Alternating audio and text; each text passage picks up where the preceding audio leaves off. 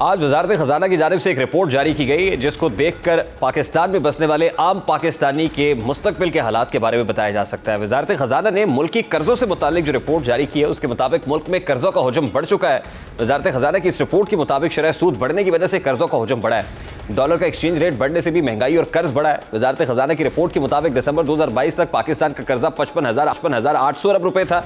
जुलाई तक दिसंबर डॉलर का एक्सचेंज रेट ग्यारह फ़ीसद बढ़ा और दिसंबर तक पाकिस्तान के कर्ज में मकामी कर्जा बासठ आशारिया आठ फ़ीसद है। दिसंबर तक पाकिस्तान के कर्ज में गैर मुल्की कर्जा सैंतीस आशारिया दो फ़ीसद है। जुलाई तक दिसंबर तीन आशारिया दो अरब डॉलर का गैर मुल्की कर्जा लिया, दो आशारिया सात अरब डॉलर वापस किया। वजारत खजाना के मुताबिक इस साल मुल्क में महँगाई की शरह अट्ठाईस आशारिया पाँच फ़ीसद रहेगी। आइंदा माली साल महँगाई की शरह इक्कीस फ़ीसद रहेगी। पाकिस्तान का पब्लिक डेट ताहाल रिस्क पर है। साल 2026 तक कर्जा मीशत के 70 फ़ीसद से जायद रहने का खर्चा है। साल 2026 में महँगाई बढ़ने की शरह छः अशारिया पाँच फ़ीसद हो सकती है। इस रिपोर्ट में बताया गया है कि साल 2026 तक डॉलर का एक्सचेंज रेट छह फ़ीसद मजीद बढ़ने का इम्कान है और रवा माली साल माशी शराह नमू सिफर आशारिया आठ फ़ीसद रहने का इम्कान है। अब ये एक मुल्क की इकोनॉमी की, जो बता रही है कि वतन अज़ीज़ में बसने वाले एक सादा से पाकिस्तानी का मुस्तबिल कैसा होगा और उनको किन चैलेंजेस का सामना करना पड़ेगा। आइन पाकिस्तान के मुताबिक पार्लियामान मुल्क का सबसे बड़ा और बाख्तियार इदारा है। पार्लियामेंट ही वो इदारा है जो मुल्क में मौजूद किसी भी ताकतवर होते पर बराजमान शख्स को तलब कर सकता है, उसको जवाबदेह बना सकता है। पार्लियामेंट पार्लियामेंट को इख्तियार है कि वो अपनी अक्सरियत से आइन में तरामीम करके किसी भी कानून को बदल डाले। पार्लियामेंट ही वो मुश्तर प्लेटफॉर्म है जिस पर पूरे मुल्क से मुंतब नुमाइंदे मुल्क कौम की बेहतरी के फैसले करें और उन्नीस सौ तिहत्तर का पहला मुतफ़ा आइन ही पार्लियामेंट को इतना बालादस्त बनाता है कि वो अपने फैसलों पर हर सूरत अमल दरामद करा सके। इसी आइन ने बाकी तमाम इदारों की हदूदों को यूद वाजे किए। हमारे यहाँ कभी सदारती निज़ाम राइज रहा तो कभी ज़्यादातर इख्तियार वजी अजम के पास रहे, लेकिन दोनों सूरतों में भी ये दोनों अहदे हर दौर में पार्लियामान के मरहूने मिनत रहे हैं। पार्लियामान के पास ही इन्हें बाख्तियार और बेख्तियार बनाने का ऑप्शन मौजूद रहा है। बदकिस्मती से हमारे यहाँ पार्लियामानी निज़ाम तो मौजूद रहा, लेकिन वो कभी बाख्तियार नहीं बन सका। इसकी हैसियत पहले रोज से इंतहाई कमज़ोर रही। है जो ना अपने फैसलों पर अमल दरामद के काबिल थी और ना ही अपने अरकान के तहफ़ के लिए बाख्तियार थी। कभी इस्टेब्लिशमेंट ने आइन और पार्लियामान को बेतौकीर किया तो कभी अदलिया ने इसके दायरा अख्तियार को चैलेंज किया। जब कुछ अमन सुकून हुआ तो खुद सियासतदानों ने एक दूसरे के खिलाफ मोहरा बनकर इसको बेतौकीर किया। इस दौरान जुडिशल एक्टिविज्म के ज़रिए से भी पार्लियामान की बालादस्ती को चैलेंज किया गया। चलते चलाते मुल्क को ब्रेक लगाई गई। मंतखब वजरा को कभी तोहन अदालत, कभी करप्शन केसेस में सजा सुनाकर सिस्टम से बाहर किया गया। पार्लियामान के बनाए गए कवानी मअतल किया गए तो कभी आयन की ऐसी तशरी की, जो इसे नए सिरे से लिखने की मुतरद थी। गुजशत चंद माह के दौरान एक बार फिर पार्लियामान के अख्तियार पर शब खून मारने की कोशिश की जा रही है। इनके बनाए गए कानून को मनचाहे बेंचेस से मअतल कर दिया जाता है। असखुद नोटिस के ज़रिए इलेक्शन और फंड के इजरा के अहकाम जारी किए जा रहे हैं। पार्लियामान की करारदादों को मलहूज खातिर रखे बगैर मुतनाज़ हुक्मनामे जारी किए जा रहे हैं और अमल दरामद ना होने की सूरत में तोहन अदालत की कार्रवाई से डराया जा रहा है, जिस पर तारीख में पहली बार पार्लियामान भरपूर रिएक्ट कर रही है और हर गैर आइनी हुक्मनामे का भरपूर जवाब दे रही है। क्योंकि इस बार पार्लियामान में एक मुतहदा और मज़बूत हुकूमत मौजूद है, जिसने तय कर लिया है कि अब किसी को पार्लियामान के अख्तियार रोदने की इजाज़त नहीं है।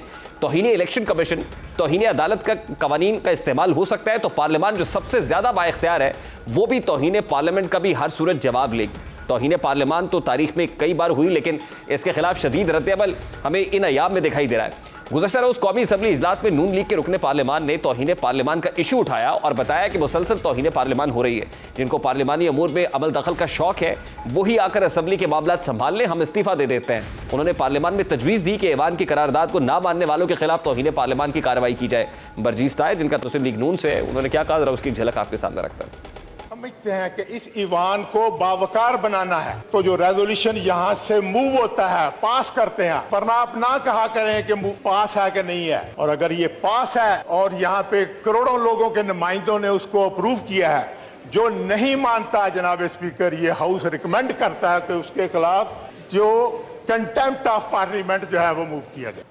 बरजीत ताहिर ने अपनी राय का इजहार किया। तो बाकी तमाम अरकान कौमी असम्बली ने इसके हक में आवाज़ उठाई। बिलावल भुट्टो, इसहाक डार, मोहसिन दावड़ समेत तमाम अरकान ने इस तजवीज़ पर फिलफॉल अमल करने की इस्तः की। बिलावल भुट्टो ने स्पीकर से दरखास्त की कि सुप्रीम कोर्ट ने पार्लियामान का इस्तेकाक मजरू किया है। कौमी असम्बली की इस्तेकाक कमेटी में यह मामला उठाया जाए और तोहन पार्लियामान की कार्रवाई की जाए। पश्तून तहफ़ मूवमेंट के रुकन मोहसिन दावड़ ने चीफ जस्टिस को सियासी जमात का कारकुन करार देते हुए कहा कि पूरे ऐवान पर मुश्तमिल कमेटी बनाई जाए और चीफ जस्टिस और साथी जजेस को इस कमेटी में तलब किया जाए।